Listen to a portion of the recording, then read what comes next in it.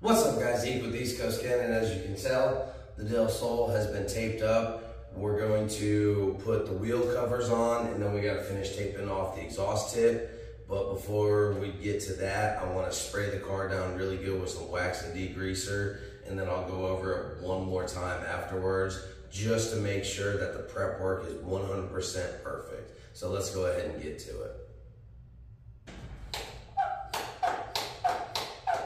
Give her a few pumps, spray it on, and then we just take the microfiber towel and dry it off. And the reason I'm starting up top is that in case anything falls, it falls down and I can wipe it with the second go.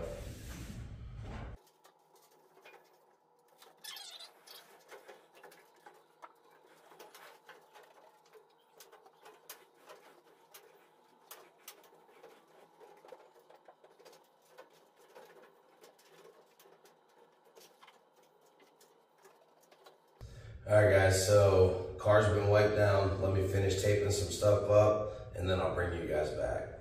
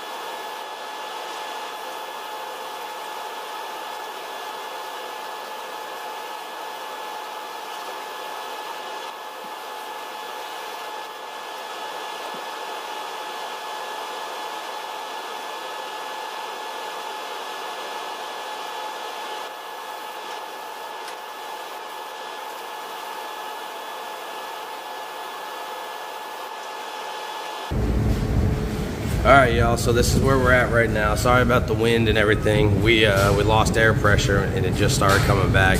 So I'm gonna go take a diet Pepsi and a smoke break while that finishes flashing off, and then come back and hit coat number three.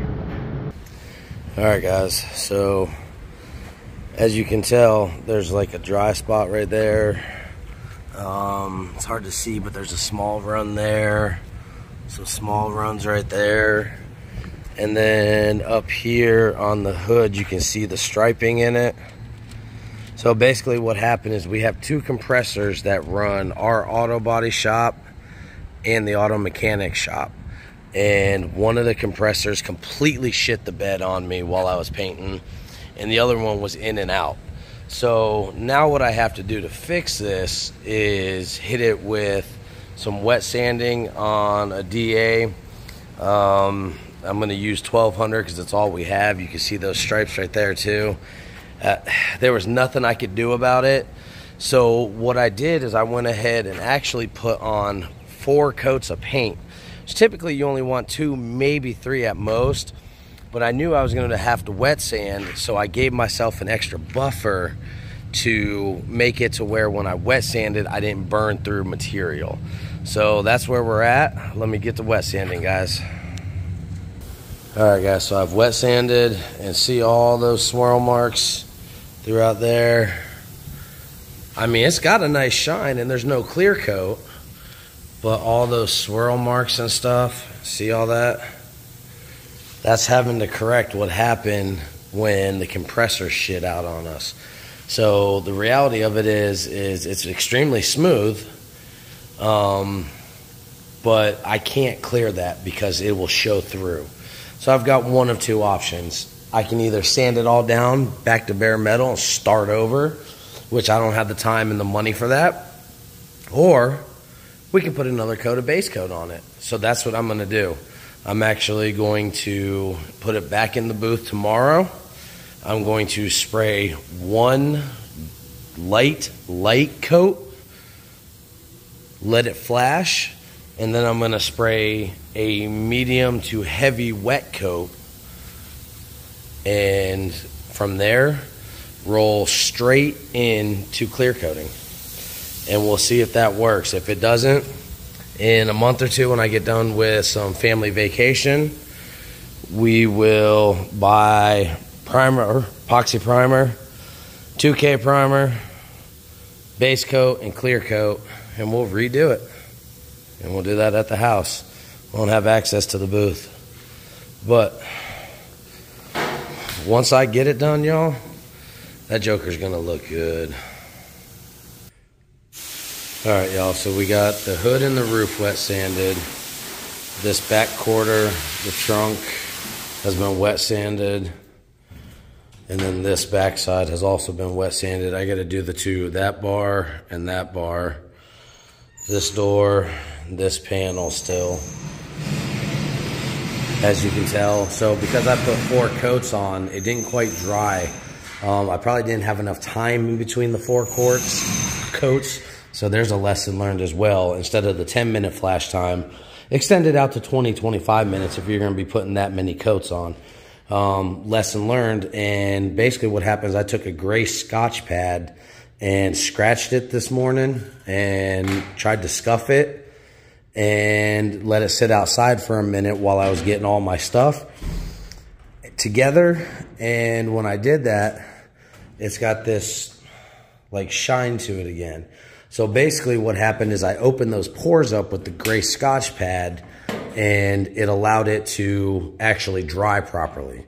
So by the grace of God, I got lucky on that one. So I mean, you can you can still see um, 600 grit wet sanding in it, but when it's actually wet, which is an older uh, tip that I learned from somebody, just pour some water on it, and if it that'll give you an idea what it's going to look like with wet coat, uh, your clear coat. So that's where we're at, guys. Um, I am going to be able to fix this without having to respray it. Now there are a few spots that I burned through. I'm going to have to touch those up, but no big deal. Um, that'll be easy. Uh, same thing with this right here. Like I, I know you can see those lines, but when you actually, it, it it's not going to show. It's so, so fine and minute. I'm, it's not going to show because I'm also putting another coat, like I said, over everything. A, a, a reduced, very reduced, just a plaster it on basically for a lack of better terms. So that's where we're at with this. And uh, I didn't didn't get that mirror yet either, but we will we will get this taken care of. All right, guys. Um, I'll catch you in the next part of the video.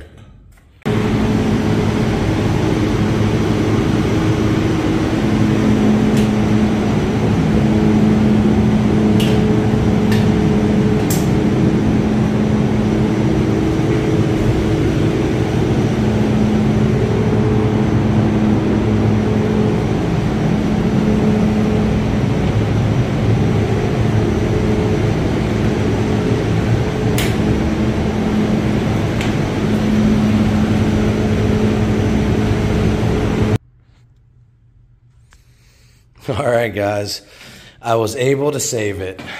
So, long story short, when that compressor shit the bed on me, um, I had no choice but basically to continue spraying it. Now, ignore that one run right there. I will take care of that.